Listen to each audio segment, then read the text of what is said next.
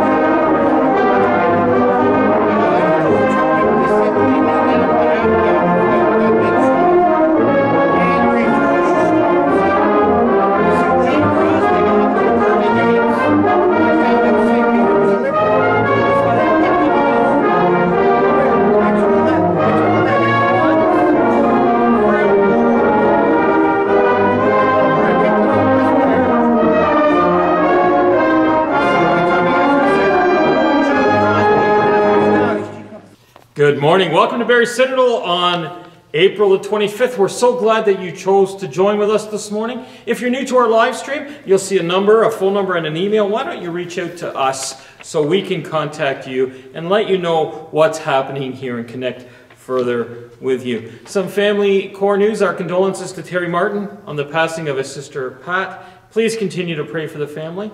Also, uh, Jeremy Wiseman on the passing of his niece Alana. Please pray for the family.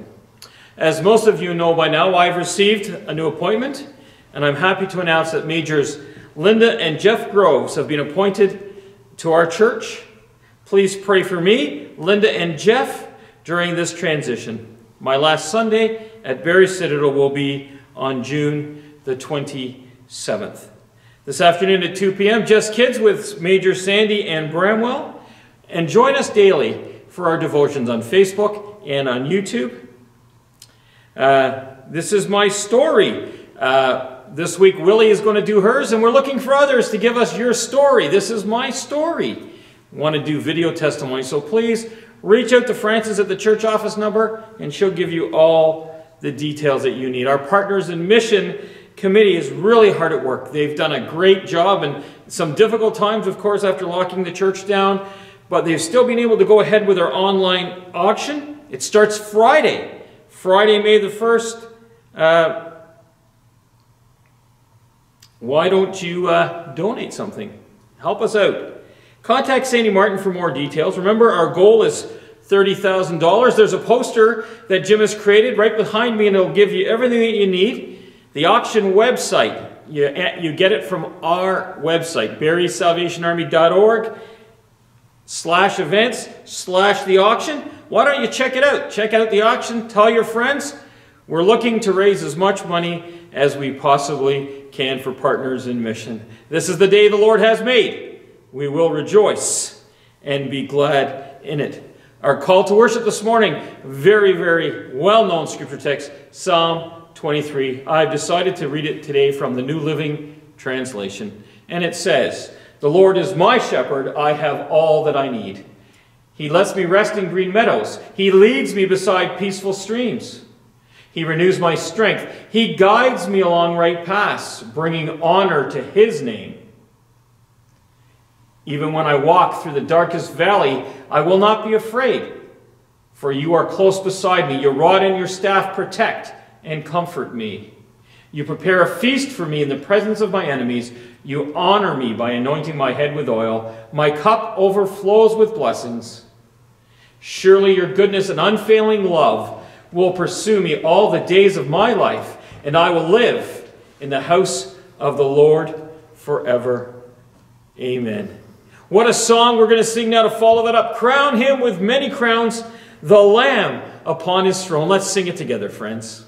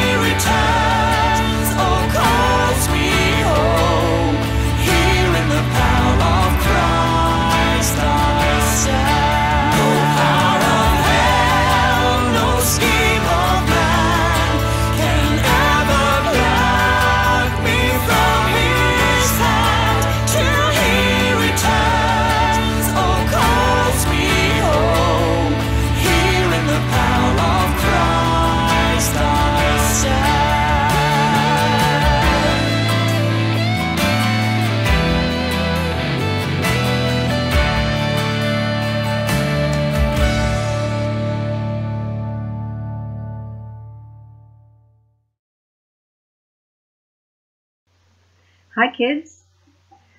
Today is uh, a celebration at Just Kids of everybody's birthday. We're going to try to um, have a good time, even though we have to do it virtually. Bramwell's here. What have you got in your mouth? Oh, I see what it is.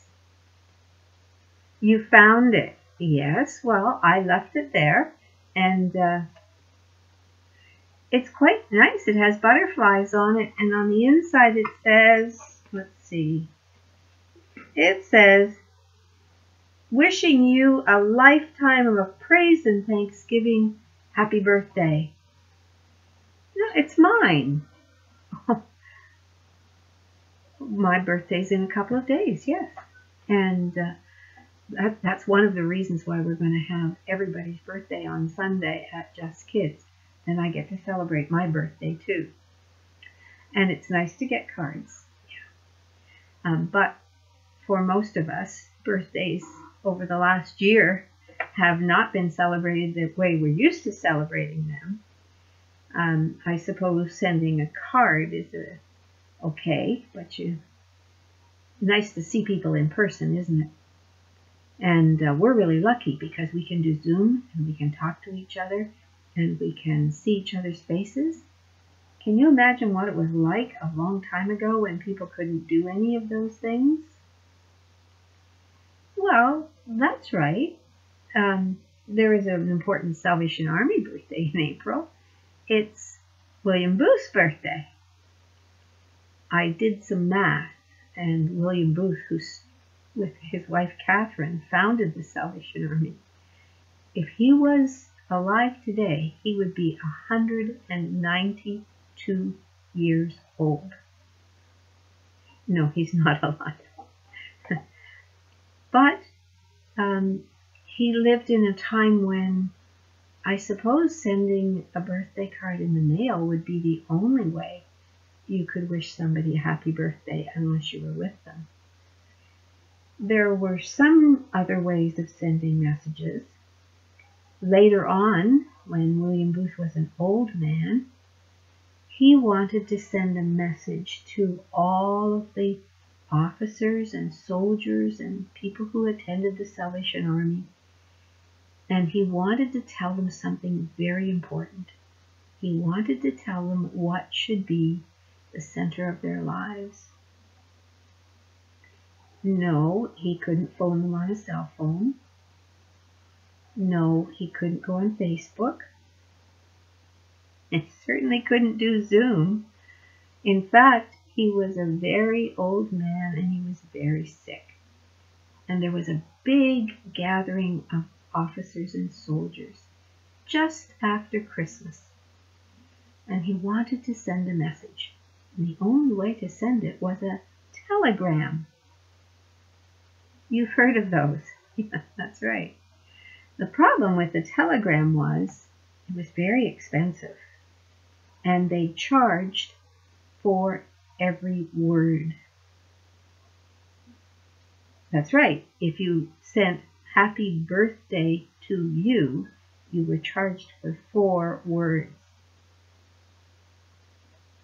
Well, it was pretty expensive, and Booth didn't want to waste any of the money that was given to help other people on a telegram.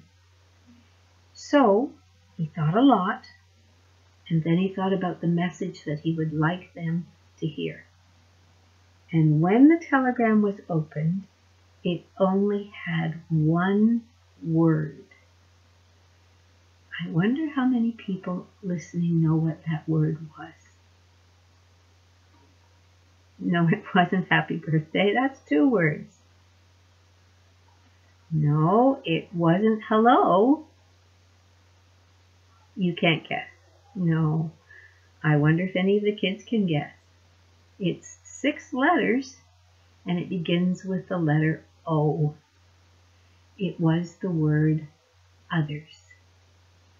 And William Booth wanted everyone to understand that they should live their lives as Jesus did for others. That's pretty good use, isn't it, of technology? Well, it's about the only technology they had in those days, but he wasn't afraid to use it. You know what? I think if William Booth was alive today, he would be using Zoom and Facebook and Messenger and Twitter and everything he could get his hands on. And you know what? I think his message for us right now in the midst of this COVID time would be exactly the same as it was in 1910. That's what, 111 years ago. And it would be others. We should be thinking of how we can help others. Yes, this week we should be making it a project to celebrate William Booth's birthday in April. We can make a project this week to think of others, to try to do things to help other people have a good week.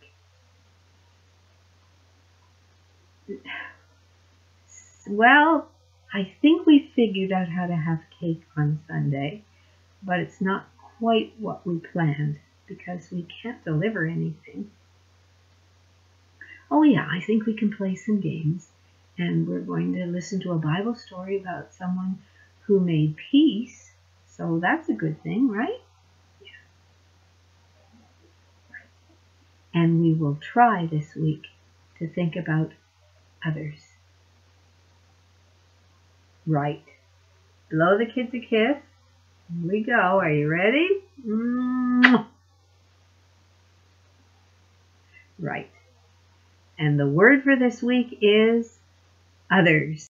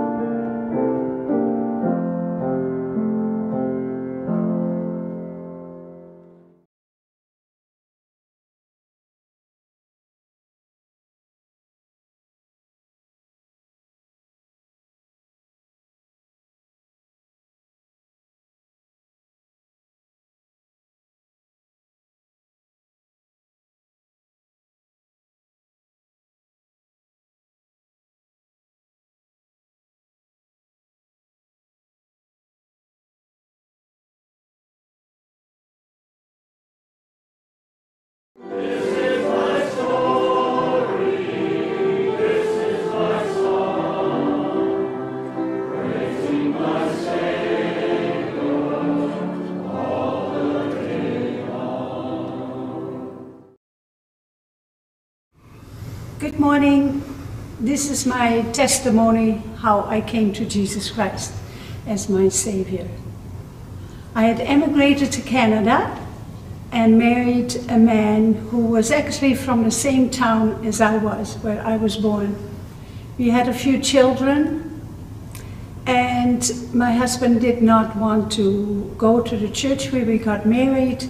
So we searched around in Toronto for a church that we liked, and we ended up in a little Pentecostal church in Scarborough. It, we loved it there. It was so unusual. Uh, a lot of people were healed in front of the church. People came to Christ. And also, there was like speaking in tongues with interpretation, words of prophecy. We had never, ever seen anything like it. It was a thrill. It was lovely. One night I dreamt a dream that I was left behind, and I knew what it meant. It meant that Jesus had come back to earth and I was left behind. It really scared me, but I didn't tell people. During the summer, Roy, my husband, and the kids and I, we went to a house church in Stoney Creek. And it was an evening service. At the end of the evening, a gentleman talked to me, and I was sharing the dream with him. And he said to me, Willie, the Lord is calling you. And I said to him, What do you mean the Lord is calling me? He said, Can I ask you a question? I said, Sure. He said to me, Do you believe that Jesus Christ has died for the world? I said, Yes, I believe that. Do you believe that Jesus Christ has died for you? I said, Wait a minute, I have to think about that. And then I said, Yes, I believe he has died for me. The next question he asked, Would you like to give your life to Jesus Christ? Well, that was a question people had asked me in my 20s several times, and I had said no. But this time I was actually surprised. I said yes. So I asked Jesus Christ to come into my life, to forgive my sin, and to make him the Lord of my life. And I believed that I would have eternal life. Roy, my husband, and the kids and I, we drove home that evening. Nothing spectacular had changed. I still felt the same. And I started reading the Bible more. I read in the Bible that people who had believed in Jesus Christ, that they usually were baptized. And I thought, I want that too. I want to be baptized. I had never seen a baptism like going under into the water. I had never seen it before, but I found a pastor that I wanted to be baptized. And I was. And I still wanted more. In this little Pentecostal church, people, they had so much joy, the same as I had seen in that house church. And I wanted it too. One evening by myself, I went to a healing service. I needed healing. I had sore legs. I was pregnant again, and I really wanted to be filled with the Holy Spirit. At the end of the service, a gentleman um, talked to me, and I said, People have prayed for me eight times, and nothing has happened. He said, Are you scared? I said, Yes, it is such an unusual experience. I am actually a little scared. And he, before he started praying, um, he rebuked that fear in me in the name of Jesus. And I felt that go. Then he prayed for healing and the filling in of the Holy Spirit. And after the prayer, he said, Do you believe that Jesus has filled you with the Holy Spirit? Yes, I said, I believe. And he said, Do you believe he that Jesus has healed your legs? Yes, I believe that he has healed my legs. He said, Now go and talk to the people in the lobby over there. Tell them what Jesus has done for you. And I did tell them that the Lord healed me and that he filled me with the Holy Spirit. I drove home that night, woke up Roy, he was asleep already, and told him what had happened.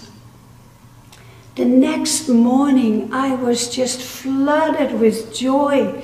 So much love, my whole body was tingling.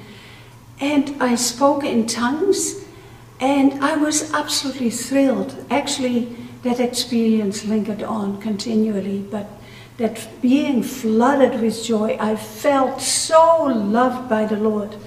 That was the beginning of the experience of following Christ. And throughout the years, Jesus Christ has never left me, even when Roy and I went through some very, very traumatic experiences. The Lord was with me. And even last year, the Lord never left me. He is the strength of my life. My husband passed away last year. Throughout the year, Jesus Christ is still the same. And I love following him. And that is my testimony how I came to know Jesus Christ, how I started following him. He still is the Savior of the world, today and forever. Scripture reading this morning is taken out of John's Gospel, John chapter 10, starting at verse 11. It says this Jesus speaking, I am the good shepherd. The good shepherd lays down his life for the sheep.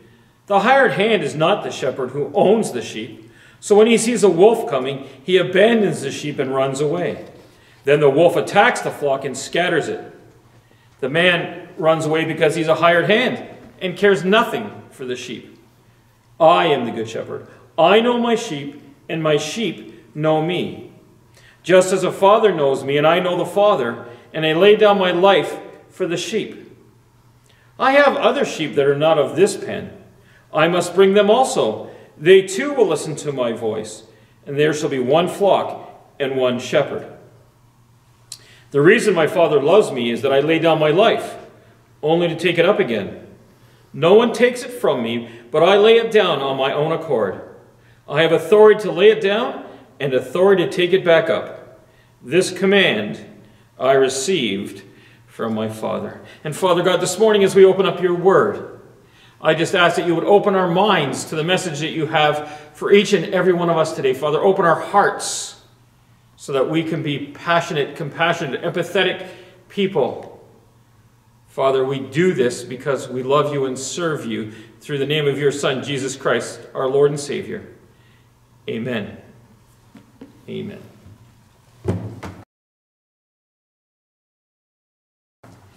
Well, the Good Shepherd. I heard a story about two men who were asked to read Psalm 23. The first one, who was an orator, stood in front and started reading. He read with so much voice technicalities, as if you were listening to a drama on the radio. He knew when to pause, when to read faster, when to soften his voice, when to speak louder. In short, he read the passage really well, and the people gave him a standing ovation when he was finished. The second it was the second man's turn, and he stood in front and started reading. But unlike the first one, this man had no background in public speaking. He just read the passage calmly, yet with deep emotions. And after he read, no one applauded. Everyone was silent. After a short while of silence, the first man stood up again and said, Do you know how the two of us differ? I know the song, but he knows the shepherd. Our passage today is about the good shepherd. And I would like that all of us would reflect and ask ourselves this one question Do we know the good shepherd? Not do we know of the good shepherd, but do we know the good shepherd? It's a question I think that we often ask ourselves how well do we know this shepherd? Not only do we know that he's the good shepherd, we know that it's Jesus that we're speaking of, the second member of the Trinity, he, the good shepherd. I wonder if we've actually ever really thought about this scripture passage and reflected deeply on it. I think even as children, we probably all have images. I remember a painting that I had in my bedroom that was Jesus with a lamb on his shoulders, carrying this lamb, protecting the lamb. I think over and over again over the last few years, I've posted this meme, and it says that Jesus left the 99. Aren't you glad that when you were the one, it was you that he went after? So there's all these beautiful images throughout Scripture. The 23rd Psalm, the image of the shepherd. So today's passage, I want to look at the characteristics of the Good Shepherd. And in response to those characteristics, how do we see that at work in our own lives? If we are claiming that we are one of the sheep, then we are the ones being led by the Good Shepherd. The first thing I characteristic I noticed when I was reading this scripture text is that he's selfless. This good shepherd is selfish. Uh, sorry, selfless. According to what I've read about sheep, many are saying that sheep are prone to danger. They don't have the capacity, the ability to defend themselves from wild animals who would come to attack them. They're helpless, so if they get stuck in a crevice, they can't get themselves out. They require somebody, a shepherd, a good shepherd, who never leaves his sheep. Doesn't allow them to be attacked by stronger animals. He'd rather get hurt or even killed for the sake of his sheep. See, even those that are lost in sin, those who, who have nobody they think, they still have Jesus to defend them. Those are on the verge of death and bondage to sin, they still have this shepherd to defend them, this selfless sacrifice. The Good Shepherd claimed these words three times, saying, I lay down my life for the sheep. Just as how Jesus selflessly sacrificed his life for us sinners, and it's not because we did anything worthy of death, it's because he loves us, because he is good, because he selflessly sacrifices for our salvation. See, we can never pay him anything in return. It's not about what he gets out of it. But still, because he's the good shepherd, he's willing to lay down his life for his sheep. The shepherd, good shepherd, allows the sheep to be hopeful. I know that sounds weird, doesn't it? Because we don't really think of the animal sheep as hopeful, but as his sheep, he gives us hope. Because of his selflessness, we have hope. Those who know the Good Shepherd find hope, believe in him, and have hope, have belief in him, and have eternal life.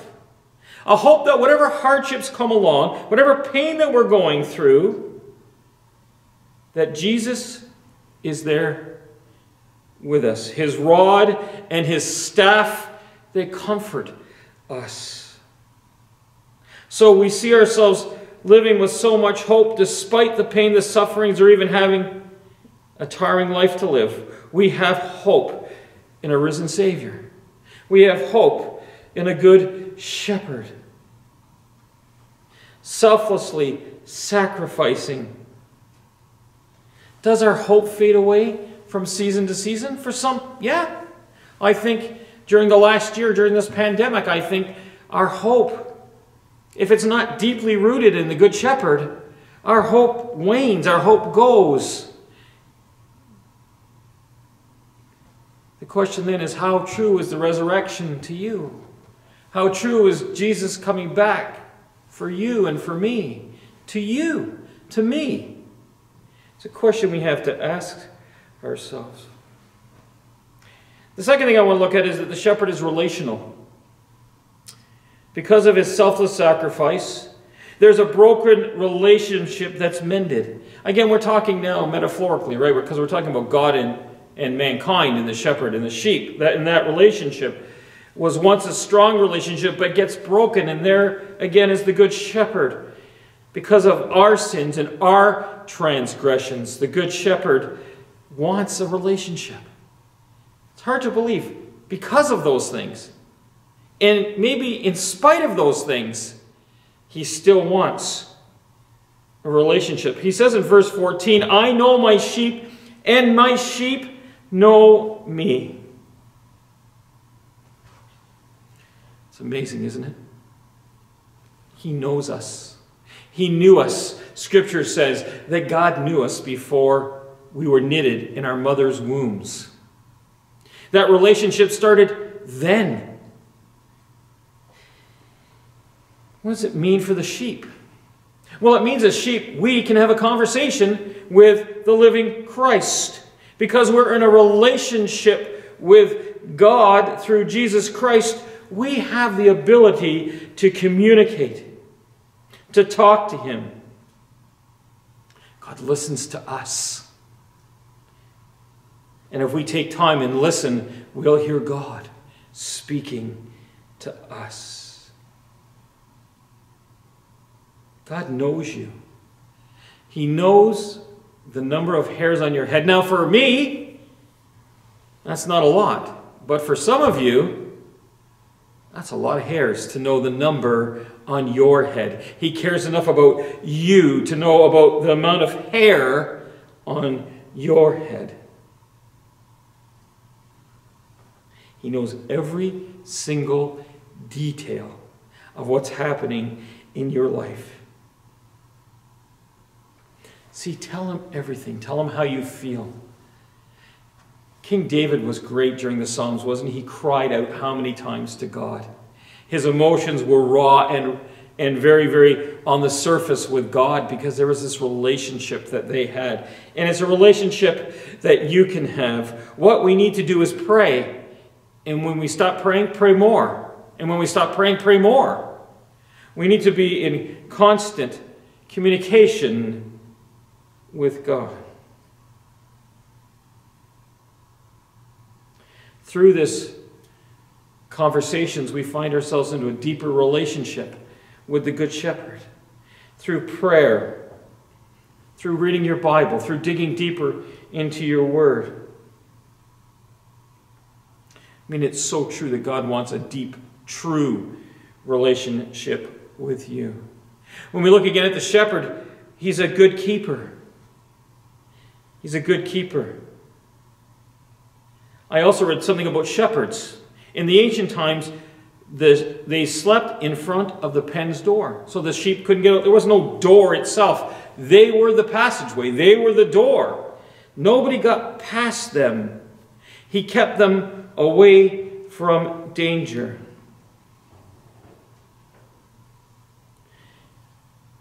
I don't know about how many of you, but when I was younger, I used to love to ride roller coasters. And I think the thing for me with roller coasters was it was dangerous. And it was scary. And there was kind of a threat to my life. You know, when they they buckle you in and then they make sure they check that buckle? That's for a good reason, right? And then you see it start moving and turning and going faster and going up and going down. And with all those safety gear still wrapped around you, you don't really feel completely safe. But let me tell you, when you've got the shepherd sleeping in front of the pen door, you can feel safe. Right? I lay down my life for the sheep. I do it willingly.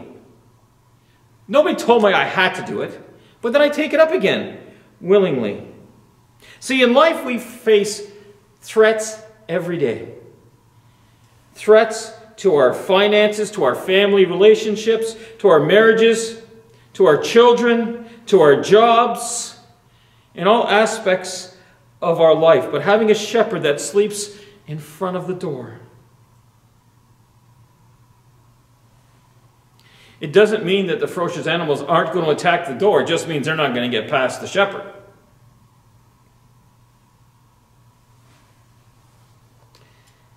It's not a relationship that assures us that we're not going to have trouble in this world. But what it does assure us is that Jesus Christ will be there to guide us, to comfort us. His rod and staff from Psalm 23 that will guide us and comfort us when we go through those times in our lives where we're under attack. Without that suffering good shepherd, we'd be in trouble. Most of us today are experiencing these kinds of threats in our life.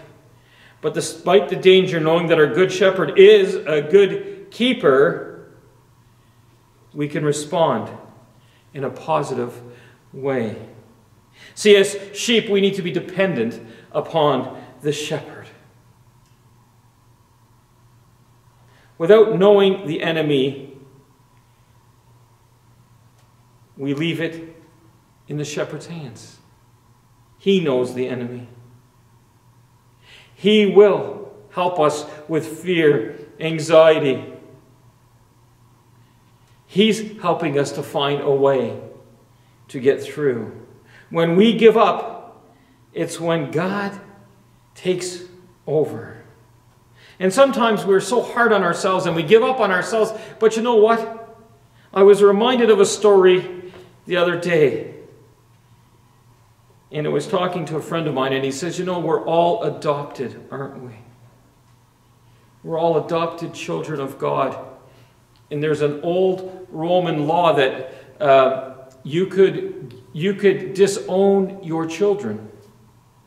A lot of Roman citizens had all kinds of children all over the place, and they could disown their natural born children, but it was against the law to give up on an adopted child. You know why? Because they're chosen. You chose to adopt that child. And I thought, what a great image of the shepherd that chooses us, right?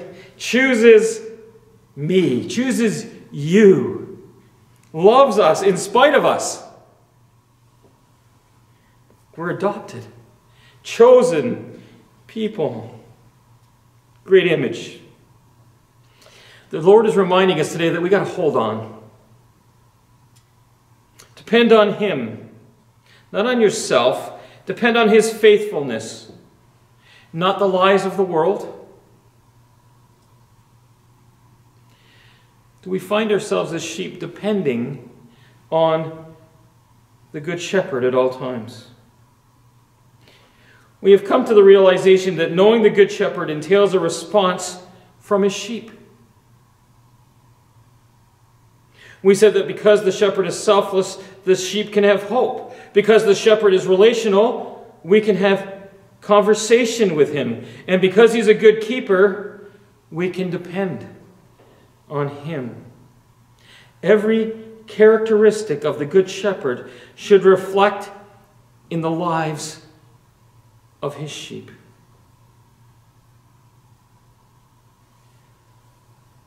Here's the question How well do you know the Good Shepherd?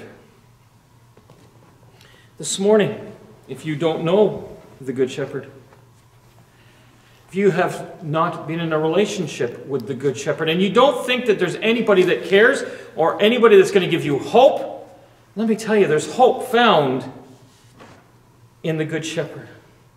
This morning, the band played a beautiful band selection uh, in Quiet Pastures, and one of the songs in this is my appeal song this morning, and it says, Unto thee will I cry, Shepherd, hear my prayer. Poor and needy am I, Shepherd, hear my prayer. Deep is calling on to deep, rugged are the heights and steep. Guide my steps and keep.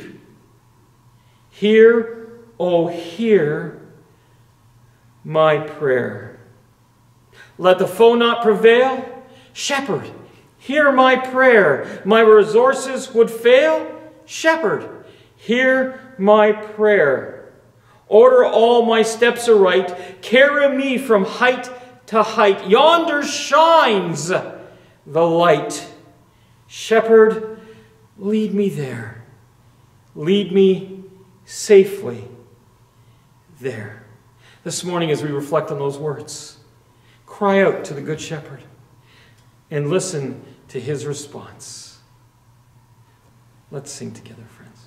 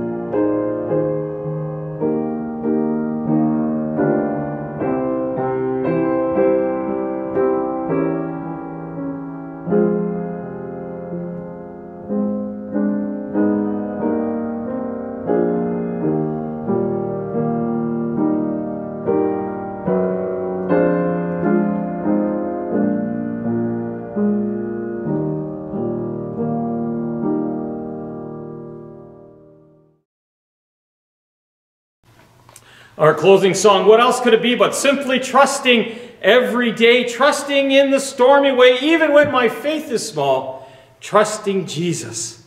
That is all. Let's sing it together, friends.